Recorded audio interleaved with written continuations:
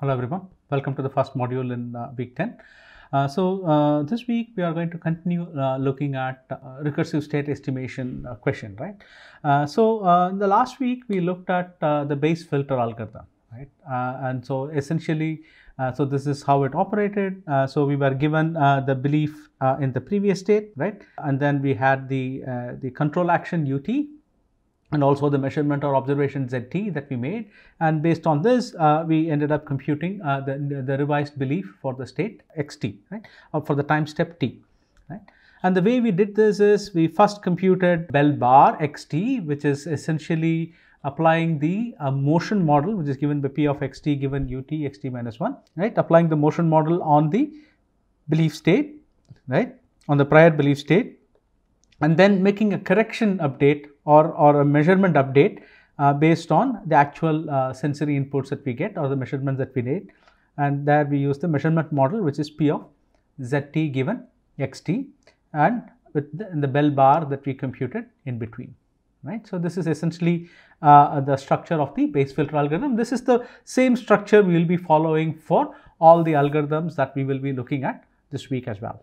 Okay. Uh, so, one of the uh, important things I want to remind you is that when we looked at the Bayes filter algorithm, it is more of a conceptual algorithm, right? So, uh, I did say that uh, uh, for practical implementation, we will run into problems computing uh, this eta. So, we had to look at simpler versions where we make assumptions about the model, right? So, the Bayes filter algorithm that we looked at, we made no assumptions about the transition model, right? So, it could be of any form, right? And similarly, we made no assumptions about the belief distribution nor about the measurement model itself, right. So, all of these were uh, assumed to be arbitrary probability distributions or mass functions, uh, which we could then uh, manipulate, right. And, and the very simple example that we looked at, uh, they were all uh, uh, multinomial distributions. In fact, they were all binomial because there were just only two uh, outcomes uh, that we were uh, looking at, right? And that's the setup that we had last week, right? So this week we will first start looking at a family of algorithms called the Uh, uh, Gaussian filter algorithms, right? So here the basic assumption with Gaussian filter algorithms is that the, the family of belief distributions that we are going to use, right?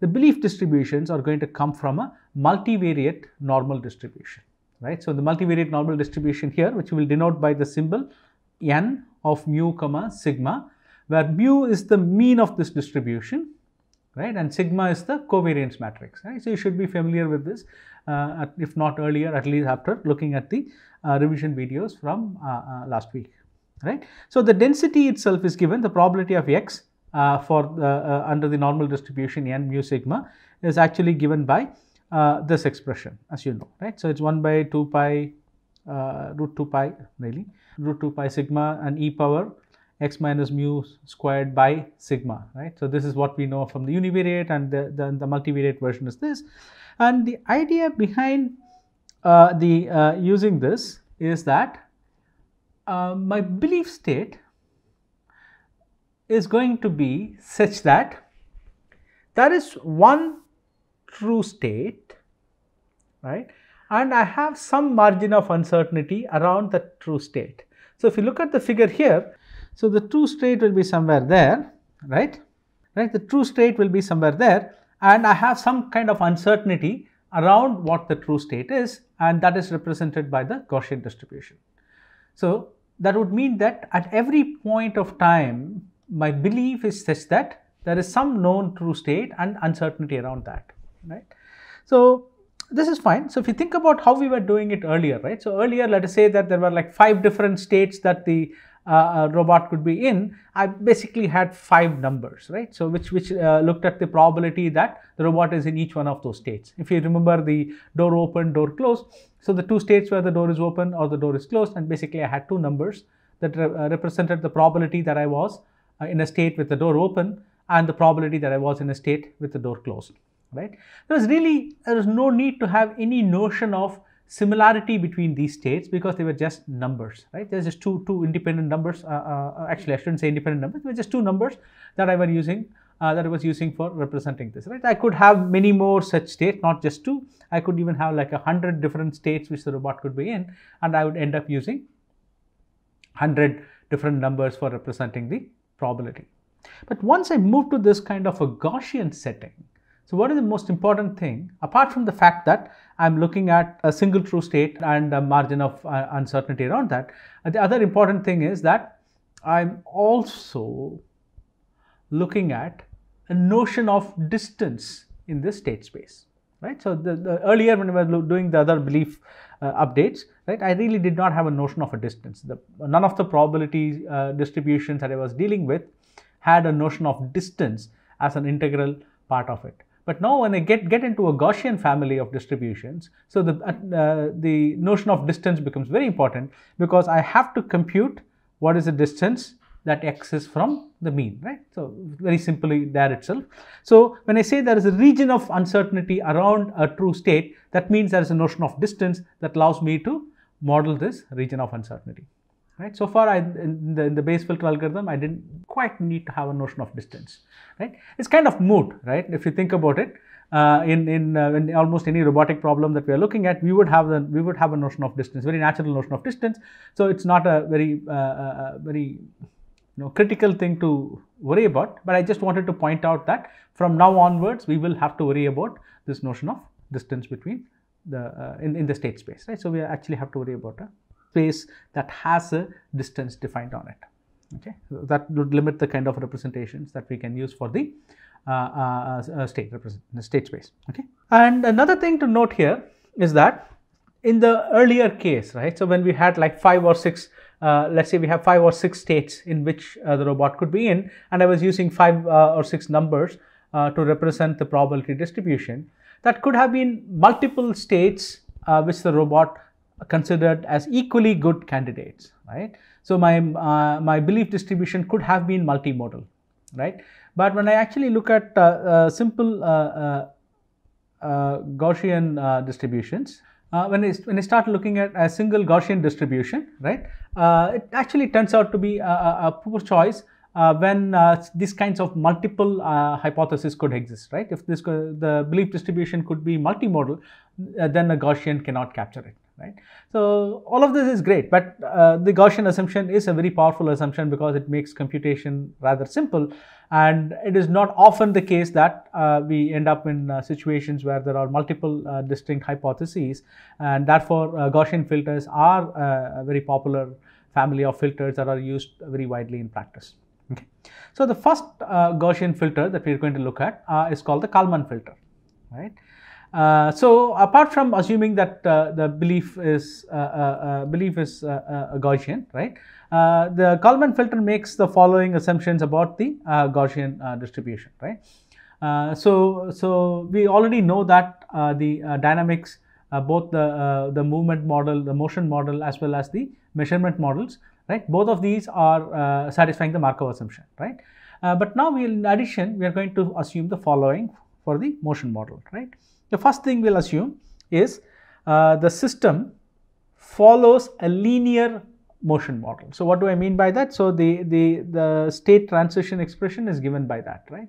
So if I'm given xt minus 1 and I given ut, so the new x is determined by a linear combination of uh, uh, at xt minus 1, but at is just a set of coefficients for xt minus 1 and bt times ut, right? Again a set of coefficients for ut, right? Plus some kind of a noise to account for the stochasticity. Remember we had earlier we had the probability of right the state transition prob uh, we had this probability expression right? What's what's the probability of xt given? Ut and xt minus 1 right? To account for this noise right? Account for the probability. So we are going to assume that there is a noise term which is given by epsilon t right? Let me repeat it again.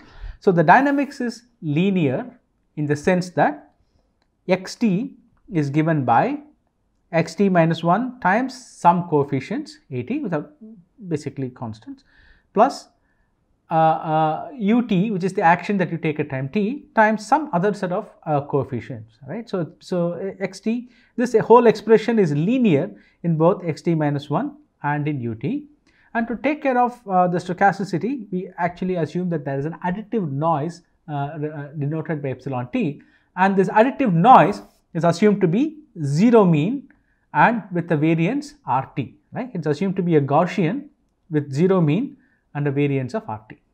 Right. So, this is what this notation is. So, epsilon t is assumed to be a Gaussian random variable, a Gaussian noise random variable, right, with 0 mean and a covariance of RT, right.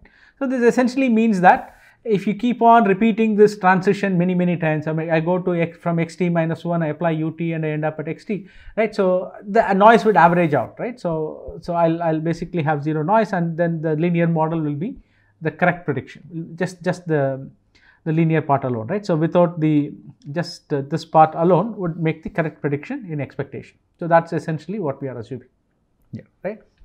Now, the total state transition probability, remember that is what we are interested in, right. The total state transition probability P of xt given ut and xt minus 1 uh, can now be written as a Gaussian variable whose mean is given by the linear part of the dynamics, right, at xt minus 1 plus bt ut and the covariance is given by RT, which is the covariance of the noise, right. So, this is fairly straightforward, right. So, I take a Gaussian random variable and I add a, a, a deterministic fixed quantity to it, right. Uh, so, therefore, uh, the overall distribution of the entire expression is now uh, has a mean of that fixed quantity that I added because originally it was 0 mean and now and the covariance stays the same because there is no noise in the term here. Okay, make sense? And of course, I can uh, I can write it out in uh, in a little bit more scary form, but this is the uh, actually the the the multivariate Gaussian distribution Uh, written out with the mean uh, AT xt minus 1 and, uh, and uh, plus BT ut and the covariance of RT. Right, it's, it's, it's uh, rather straightforward, right? So, don't get scared with this expression, okay. So, just to recap, we are assuming that the motion model follows a linear dynamics, right. So, there is xt minus 1 and that is ut and the expression for xt is basically linear in both xt minus 1 and in ut plus an additive Gaussian noise which is 0 mean and with a covariance of RT. Okay. So, I hope I hope that is uh, clear to people. And uh, so, what are the other assumptions we make? The second assumption we make is that the measurement probability, right, the measurement model uh, should also be linear in its arguments, right. So, what is the argument of the measurement model? Remember the measurement model we are looking at the probability of zt which is the measurement at time t given the state is xt okay? So that translates to in a linear model that translates to this expression. So zt equal some set of coefficients ct times xt plus a noise model delta t right? Now we had like epsilon t earlier. Now we will use a noise model that's given by delta t right? And so delta t is again a zero mean Gaussian with the covariance denoted by Qt, right. So, earlier when I was specifying the uh, uh, motion model, right. So, earlier let us go back. Uh, when I would have specified the motion model, I, I, would have needed to give you this distribution, right. So, how did we do it when we did the example? So, for every value that ut and xt minus, uh, minus, uh, 1 could take, we specified the probability for every value that xt could take right if you remember the uh, sample uh, example that we looked at right? For every value that xt minus 1 and ut could take we and, and for every value that xt could take we specified a probability right? But now our job is slightly simpler so we don't have to run over all possible values of this. Uh, if i want to specify the uh, state transition probability all i need to specify are rt at and bt right? So i have to specify at I have to specify Bt and I have to specify RT to specify the full uh, transition model. Okay. Likewise, uh, for uh, the measurement model, I have to specify Ct which is the linear coefficients uh, uh, for the measurement model as well as Qt which is the covariance matrix of the noise that I add in the measurement model, right. So, the overall measurement probability again is given by a Gaussian with the mean is given by CTXT and the covariance which is given by QT, just similar arguments as we had in the previous slide. Okay. So, make sense? And because I am adding a 0 mean uh, uh, uh, Gaussian variable with QT as the standard deviation to a fixed quantity. So, the overall probability distribution has a mean of CT and XT, CTXT and a covariance of QT. Right. Now, again I can write it out in the the full uh, multivariate uh, Gaussian expression, which is basically this. Then what's the third assumption that I'm making? I said I'm making three assumptions. So the third assumption I'm making is that uh, the initial belief distribution I start with, right, which is Bell X naught, if you remember, right. So that is something that I start with the initial distribution, and um, earlier, so we had actually uh, thought of it as um, something uniform, right? In the in the in the in the numeric example we looked at, we had bell x naught equal to open as 0.5, bell x naught equal to close as 0.5. Again, uh, the belief was uh, just a set of numbers, right? But here, uh, to make sure that uh, uh, our entire computation is tractable, uh, we assume that the belief distribution is also given by a normal distribution, just like the noise that we had in the two models, right? And we assume that the mean is mu naught, the covariance matrix is sigma naught, right? And uh, so basically that's uh, the expression. So we have uh, n of mu naught sigma naught, and therefore bell x naught, which was the uh, is the distribution uh, uh, belief distribution at time zero, is essentially given by a covariance matrix with mean mu zero and and variance covariance sigma zero, right?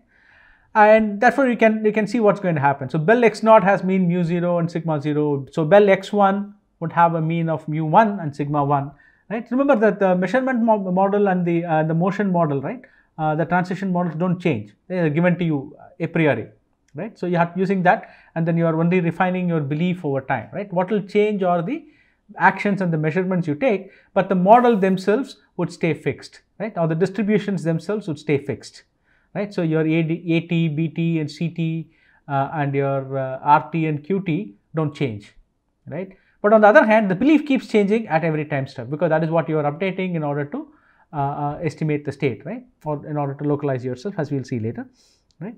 So, uh, so your uh, uh, your belief distribution will keep getting updated. So, bell x naught is given by mu naught and sigma naught, and bell x1 would be given by mu 1 and sigma 1. Bell x2 would be given by mu 2 and sigma 2, and so on and so forth. And uh, your entire Bayes filter algorithm will now reduce to an algorithm where you update mu t and sigma t given mu t minus 1 and sigma t minus 1 and ut and zt. Great.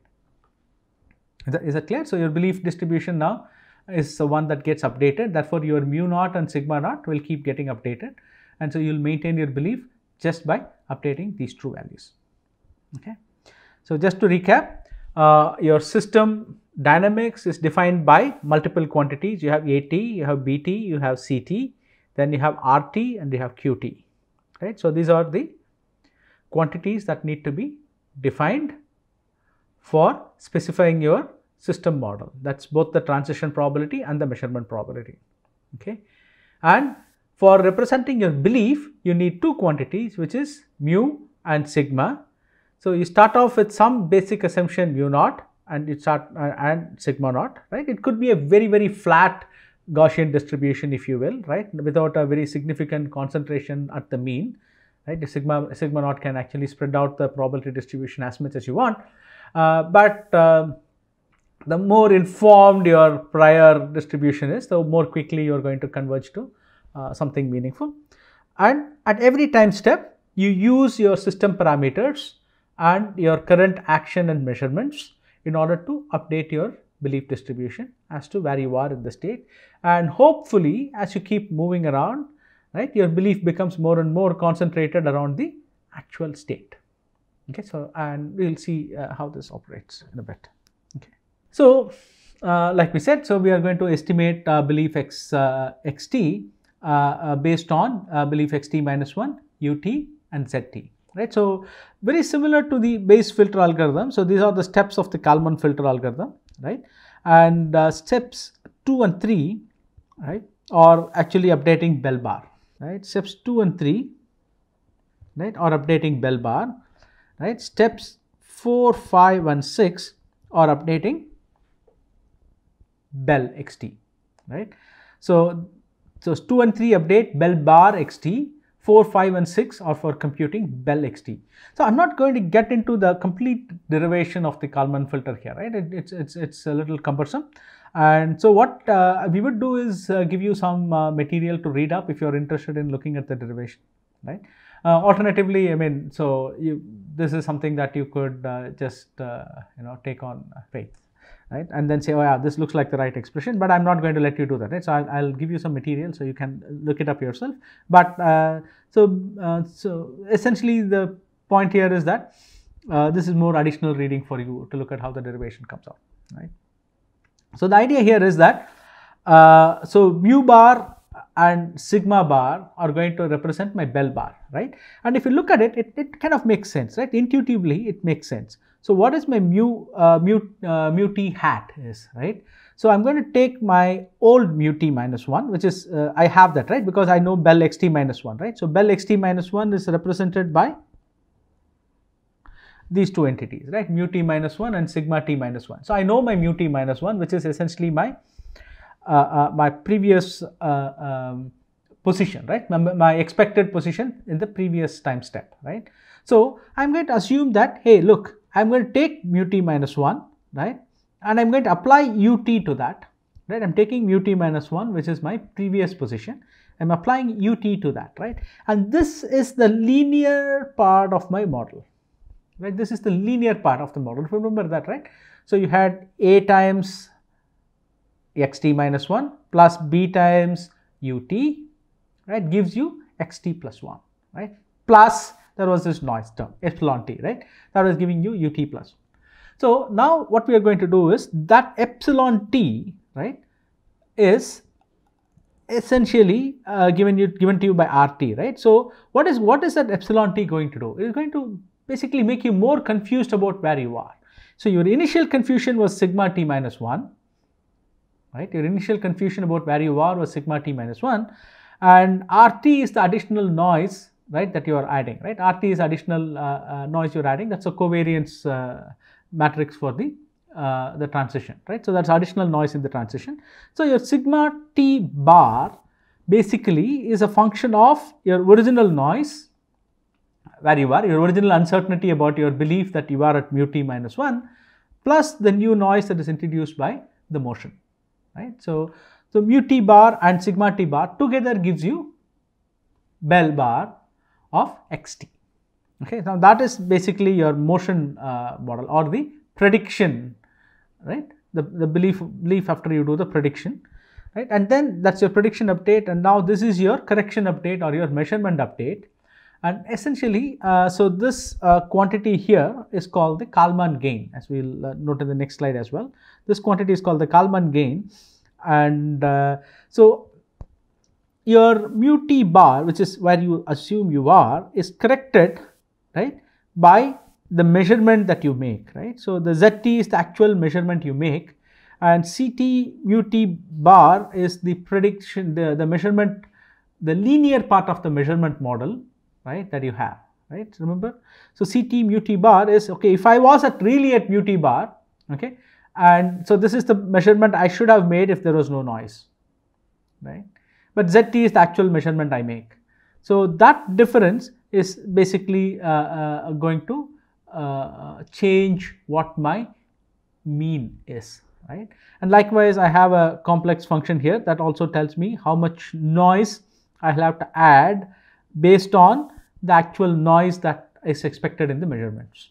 Okay, so that gives me my new sigma t. So this part of the derivation is a little uh, not too hard, right? There's just a little involved, and I encourage you to just follow it offline. Okay, so at the end of both these updates, so this is the prediction update, and that is the uh, uh, uh the um, uh, measurement update. So there's a prediction update, and then you have the measurement update, and after that you get the new belief state, which is given to you by mu t sigma t.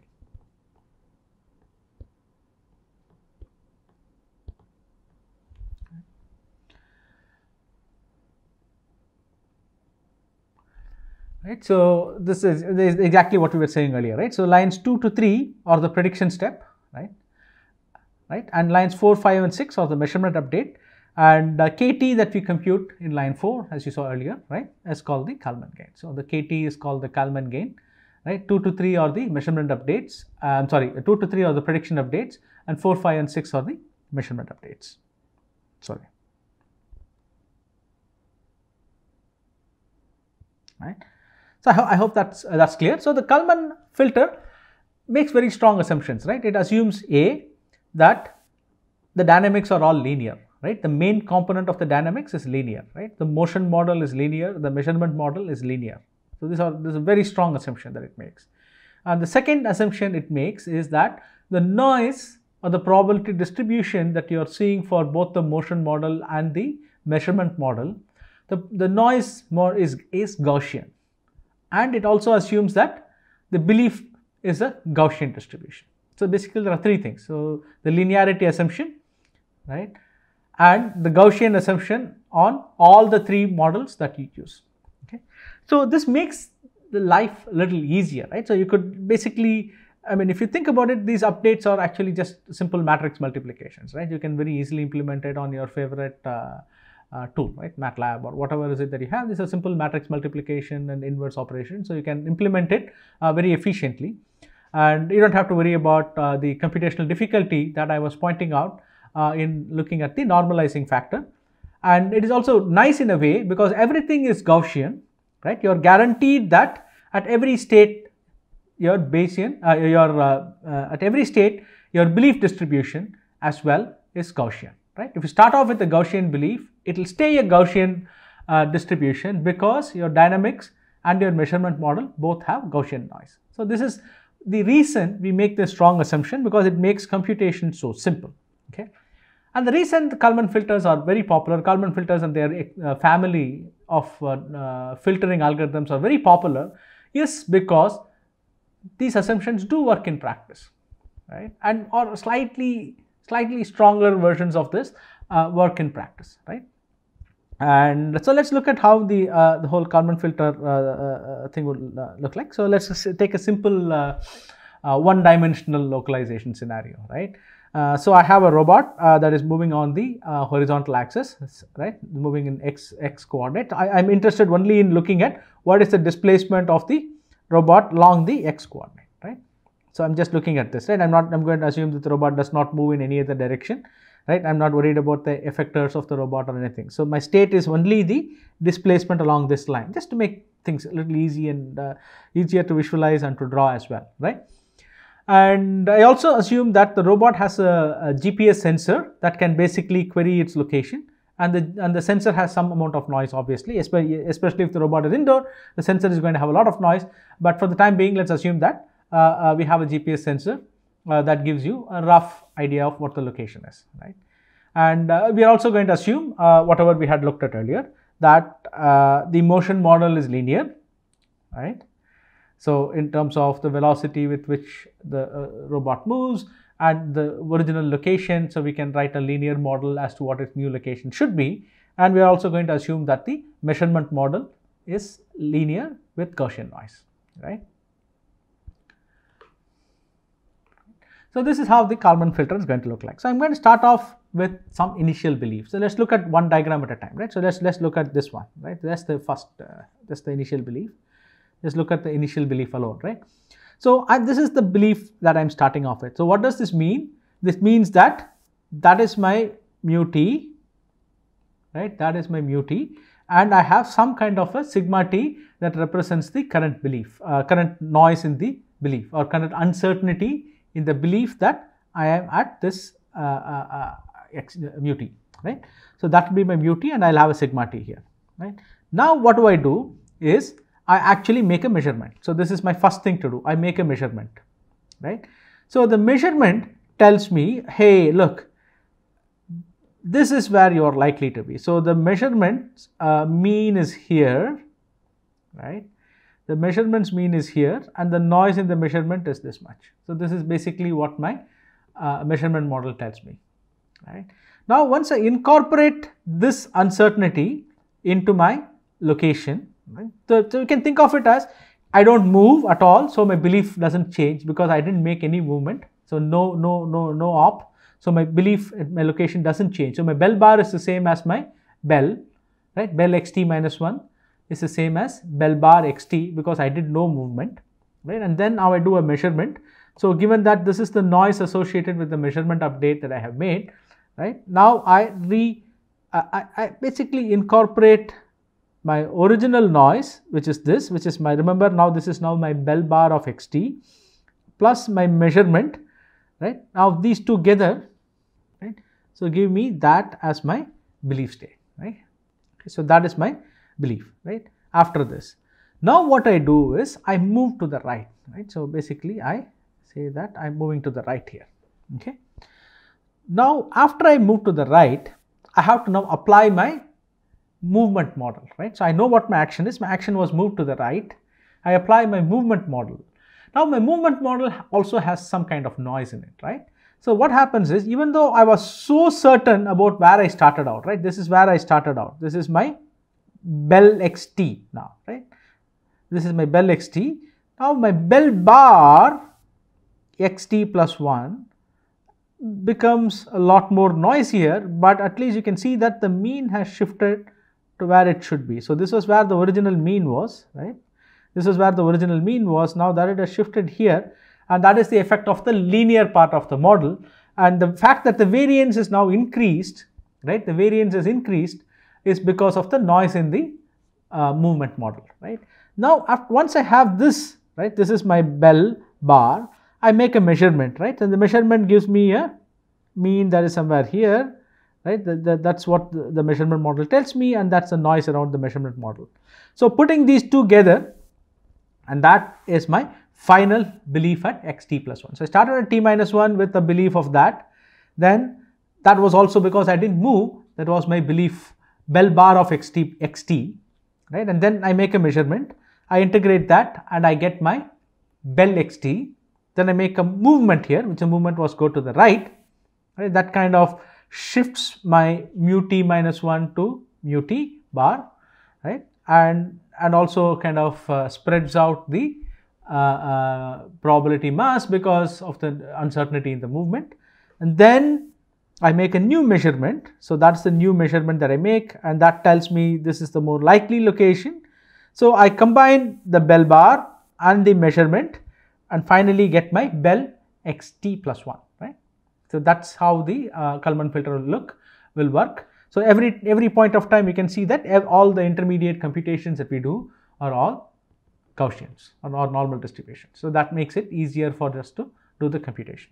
So far we looked at uh, uh, the, the simple uh, Kalman filter algorithm which uh, assumes everything is uh, Gaussian. But as we know that you know the fact that the movement model and the measurement model are both linear, uh, is a very strong assumption. So, we will look at ways of getting around that. One by looking at a slightly different version of the Kalman filter and then by looking at other more, more, more complex filters as well in the next few lectures.